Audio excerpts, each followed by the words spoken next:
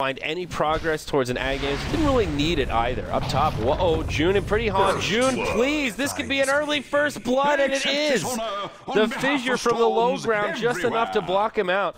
Air. There we go, zip in. Can they find Rakil onto Rabbit? Maxed out waveform will scoot out. He's fine. Now in the bottom lane, Ancient Apparition gets dove behind the tower. June comes in. Time walk forward, but no Chrono. June, this is bold. Totem gets used by Kaka. Now Mu drops the hammer all over Westbrook. Sonic Wave to boot. They'll try and chase down Kaka. A few more right clicks will be enough. Pretty Hall looking for the deny, but can't quite get it. It's a double kill for Mu on the QoP. And that'll be the end of it. They punish the dive. A little bit of bad luck, and this could be disastrous for NewBee. Pretty Hog gets pinged out. The stolen charge from Banana. There we go. No chrono used. June thinking about it, but doesn't overreact. Sets up for an easy kill there. But holding on to his chrono could be an easy kill with this Orchid. Not particularly tanky right now, especially when not on strength boots. Kaka in the mid lane. Now he's getting charged up. Rubik charging on in. Telekinesis, and that's a stolen fissure. Easy peasy. He will end up dying though, so ending over the fissure, less than ideal. Also, ZSMJ the one getting the kill. Um, particularly scary. We talked about the disparity being the offlaners and how well they scale. And this is when Spirit Breaker starts to lose some of his footing as well. We'll see him charging in the mid lane, goes right onto June. Go for the weak one. Orchid will come out onto him. SanSheng in a very awkward position will get Laguna bladed. That'll be the end of him. Now they lose the Void. Looks like the strategy from ZSMJ will be successful as he locks down the Void before he can get off the Chronosphere. Compliments of that Orchid. Charge onto the Replicant. Nicely baited by the Morphling. And that will get at least one ability on cooldown, if not only for 10 seconds here. Fortified. Ability rune online. A sentry ward will come down. Mostly for the ward coverage here. That's an observer down. It looks like HGT maybe thinking a little harder about Rosh. Now initiation. That's what I'm talking about. Ulti's on two. Pretty high. Kaka going to be sent back to the grave here. That should be a shatter, and it is. They'll lose the Rubik off to the side, but the Sonic Wave Chronosphere were there. Nice setup from NewBee. And that is why you do not charge up to a dark high ground. Westbrook will set up onto the Ancient Apparition, though. The long-range Nether Strike will make it easy for ZSMJ to come in and clean up. Double kill for him. It's a two for two. Both sides lose their supports and ends up being a pretty even trade. Rabbit trying to split push up top will be charged by Westbrook, but I feel like Westbrook needs to be a little careful here. They know he doesn't have an ultimate. His charge is now on cooldown. Rabbit will do what little damage he can, sends the replicate away, and may just try to see what kind of a play he can make and then hop back to safety if need be. There will be some supports coming this way. Now the Storm Spirit comes zipping in. Rabbit takes the Orchid. He's not even going to get to use the ulti at this point, but he will. Manta style there to get the Orchid off. Thought they might have the stuns, a lucky bash there, and you don't manta off that Orchid and the Soul Burn. Yet they smoke into the pit, but HGT, they know it. Taking a look at the Dire Vision here. They don't have visual confirmation yet. Radiant, they know. This is Radiant Vision here. They've got the Gosu ward on the high ground. They're still going to stay in the pit, though. This is so risky. They know what's going on. They don't even have the Faceless Void with them. NewBee, oh my gosh. The dice, it's giving me heart palpitations. They're rolling the dice. Void, we need you. He's got the Chronosphere. Why isn't he here?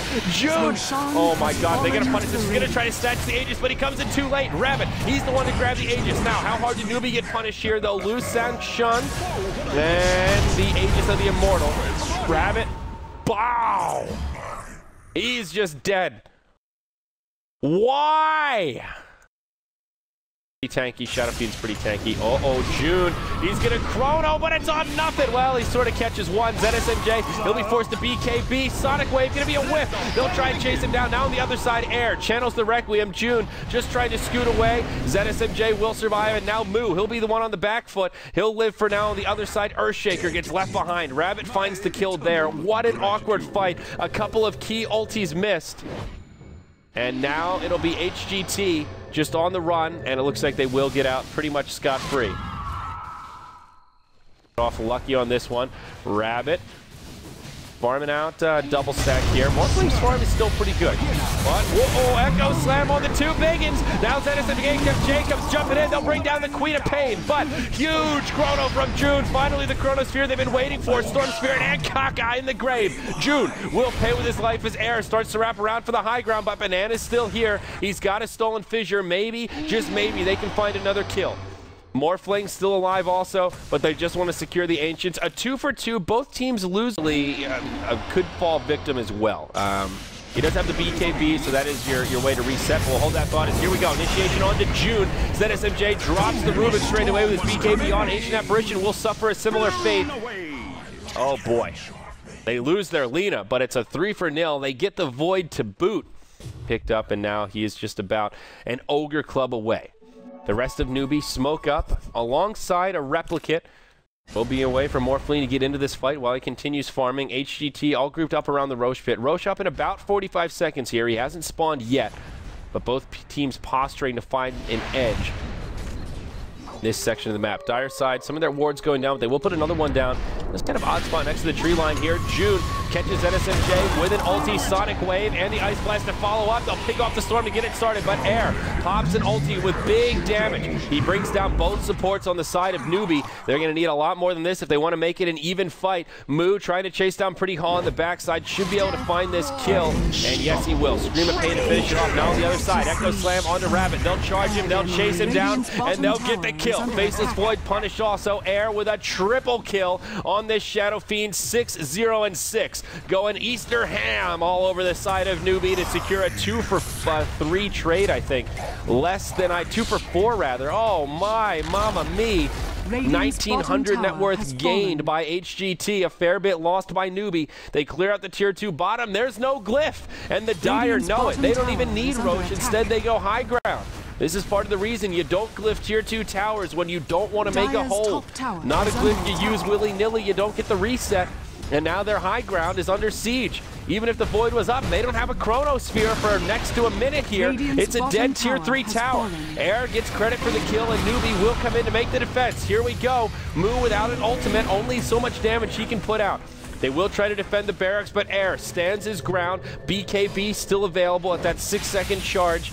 Good damage onto the barracks, but they will start to back out. Moose still 50 seconds till his ultimate is here.